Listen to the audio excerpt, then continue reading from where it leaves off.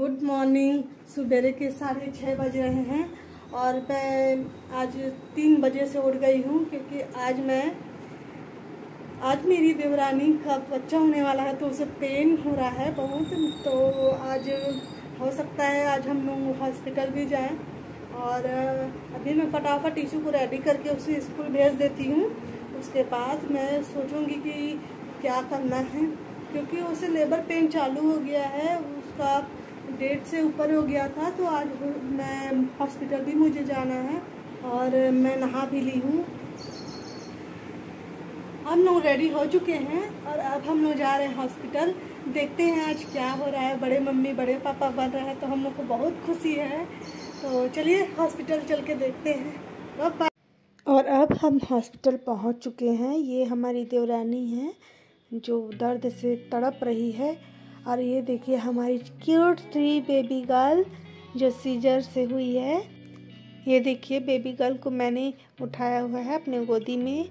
ये मेरे सास, ससुर, बुआ, सास, देवर सब हैं, हम लोग हस्बैंड और इस तरीके से हमारी फैमिली और देखिए, ये बेबी गर्ल कितनी प्यारी है, बहुत ही प्यारी सी गुड़िया रानी है।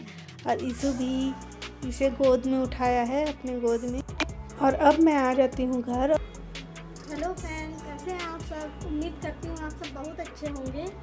और अभी समय हो रहा है लगभग साढ़े ग्यारह बज रहा है तो आज मैं हॉस्पिटल से आ गई।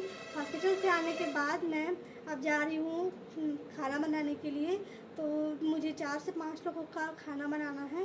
तो मैं हाथ मुँह धोकर, कपड़े चेंज कर कर किचन में आ गई हूँ। और मैं सबसे पहले ना झुनगा जो होता है ना लोबिया आप लोग क्या बोलते हैं, झुनगा थोड़ा सा उसे बॉयल होने के लिए रख दूँगी क्योंकि मैं आज बना रही हूँ मूली, बैगन और झुनगा की सब्ज़ी जो खाने में बहुत ही ज़्यादा टेस्टी लगती है। और हॉस्पिटल से आते आते मैं सब्ज़ी भाजी भी ले आई क्योंकि मार्केट पड़ता है बीच में।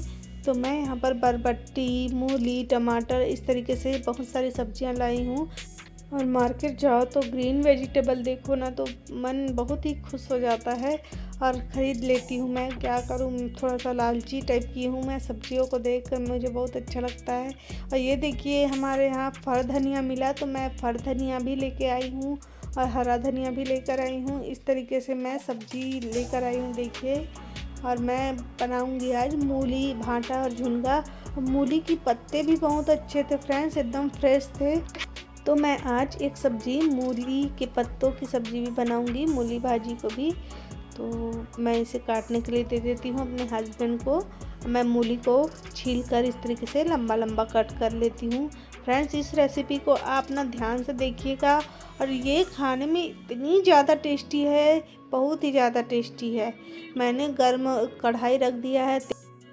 तेल गर्म हो जाने के बाद सरसों डाला है। सरसों डालने के बाद थोड़ा सा तीन चार दाने मेथी के डाल दिए हैं। छोटा सा इसका प्याज कट करके डाल दिया है और मूली को धोकर हम डाल दिए हैं। इसे गोल्डन ब्राउन होने तक भून लेंगे और एक बैगन ले रहे हैं जिसे हम पतला पतला कट कर लेंगे।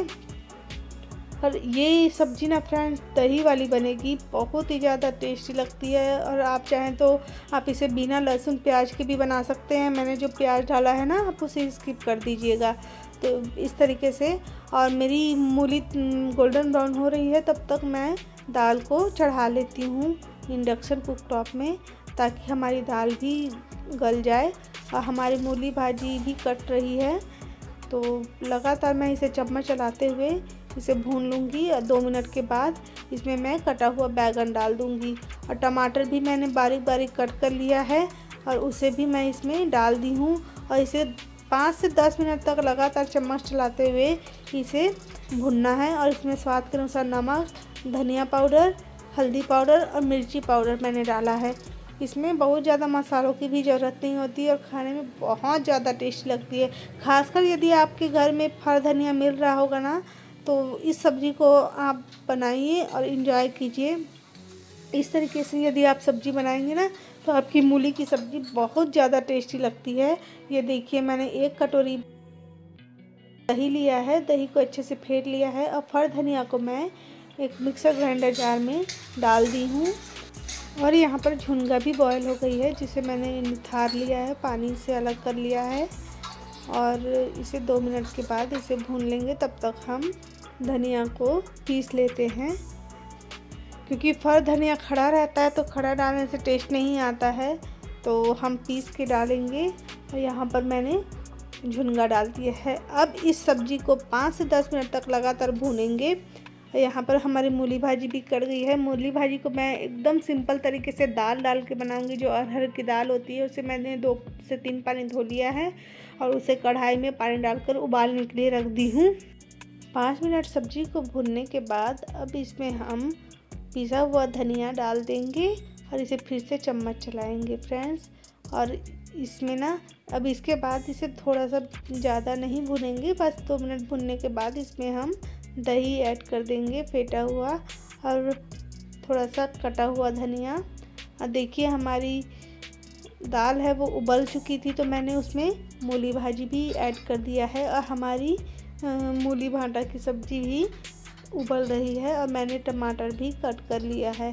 इस तरीके से मैं यहाँ पर मूली भाजी में टमाटर ऐड कर दूँगी और ऊपर से नमक डाल दूँगी स्वाद के अनुसार।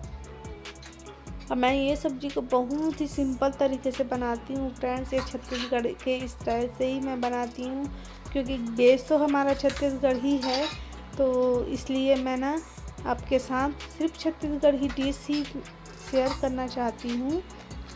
और इस तरीके से देखिए हमारी सब्ज़ी कितनी अच्छी दिख रही है, एकदम उबाल आ गई है। इसे खाएँगे ना तो आपको बहुत ज़्यादा टेस्टी लगेगा। और ये मूली भाजी है।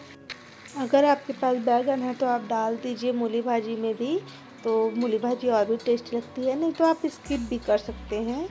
और यहाँ पर हमारी सब्ज़ी बन गई है और इसे हम दूसरे गैस में ट्रांसफ़र कर देते हैं ताकि हमें भाजी को छौका लगाने में आसानी हो।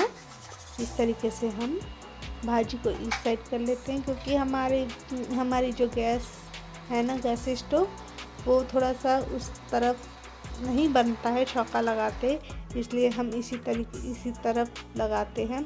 अब मैंने थोड़ा सा दाल को भी गर्म होने के लिए रख दिया है, और हमारी चावल भी उबल रही है, चावल भी लगभग बन रहा है। इस तरीके से मैं सलाद कट कर लेती हूँ ताकि मेरा काम आसान हो जाए। फटाफट से प्याज, टमाटर, बीट, गाजर सब मैं कट कर लेती हूँ। क्योंकि हॉस्पिटल भी लेकर जाना है मुझे तो फटाफट से मैं भाजी को अब छौका लगाऊँगी। छौका लगाने के लिए मैंने एक प्लेट में भाजी को ट्रांसफ़र कर लिया है और उसमें कढ़ाई में मैंने तेल डाल दिया है। ये देखिए हमारी चावल भी हो गई है तो मैं इसे पसा लेती हूँ। फटाफट से काम करना पड़ता है फ्रेंड्स, क्या करें? बहुत परेशानी भी होता है, गर्मी भी लगती है, पर करना तो पड़ता है ना। अब मैं यहाँ पर तेल गर्म हो जाने के बाद लहसुन और मिर्ची डालकर मैं भाजी को तड़का लगाऊँगी इस तरीके से, और इसे चम्मच चला लूँगी। और इसे दो मिनट तक ऐसे ही चम्मच चलाकर इसे हम छौका लगा लेंगे। ये सब्ज़ी भी बहुत ही ज़्यादा टेस्टी लगती है फ्रेंड्स एक बार इस सब्ज़ी को आप बना कर देखिएगा। भाजी को कभी मत फेंकिएगा। ये भाजी बहुत ज़्यादा टेस्टी भी लगती है शरीर के लिए भी बहुत लाभदायक होती है। इसलिए आप इस भाजी को ज़रूर बनाइए।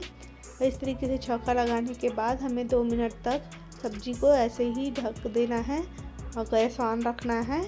मैं अपन दाल को तड़का लगा लेती हूँ। तो दाल को तड़का मैं प्याज में ही लगाऊँगी, प्याज और जीरा। और फ्रेंड्स हम लोग ना दाल को हम ऐसे ही सिंपल ही फ्राई करते हैं। हम टमाटर वमाटर डाल के हम फ्राई नहीं करते हैं। सिर्फ़ प्याज के साथ, जीरा के साथ या तो फिर लहसुन और मिर्ची के साथ ज़्यादा करके फ्राई करते हैं। एकदम सिंपल दाल खाने के शौकीन हैं हम लोग। हमारे घर में टमाटर वाली दाल नहीं बनती है। तो प्याज के लाल हो जाने के बाद हमने यहाँ पर जीरा डाल दिया है। थोड़ा सा सूखा हुआ कड़ी पत्ता भी था तो मैं सोची इसे भी डाल देती हूँ। तो दो चार पत्ती मैं कड़ी पत्ता डाल दी हूँ, सूखा हुआ। इस तरीके से हमारी प्याज भी गोल्डन हो चुकी है। तो अब इसे हम तड़का लगा देते हैं, दाल में डाल देंगे। हमारी दाल भी अच्छी खासी बन गई है, रेडी हो गई है। इस पर थोड़ा सा पानी डाल देंगे। हमारा लंच रेडी हो चुका है और मैं ईशु के पापा के लिए लंच की थाली लगा देती हूँ क्योंकि उनको जल्दी जल्दी खाना है और हॉस्पिटल खाना लेकर भी जाना है। तो उनके खाते तक मैं लंच बॉक्स रेडी कर दूँगी और वो खाएँगे और उसके बाद ले कर के जाएँगे। अभी तो मेरी देवरानी नहीं खा रही है क्योंकि सीजर से हुआ है तो अभी उसको खाना नहीं है एक दो दिन। और फ्रेंड्स, यदि आपको मेरी वीडियो पसंद आ रही होंगी तो please like, share and subscribe करना ना भूलें। मुझे आप लोगों की सपोर्ट की ज़रूरत है।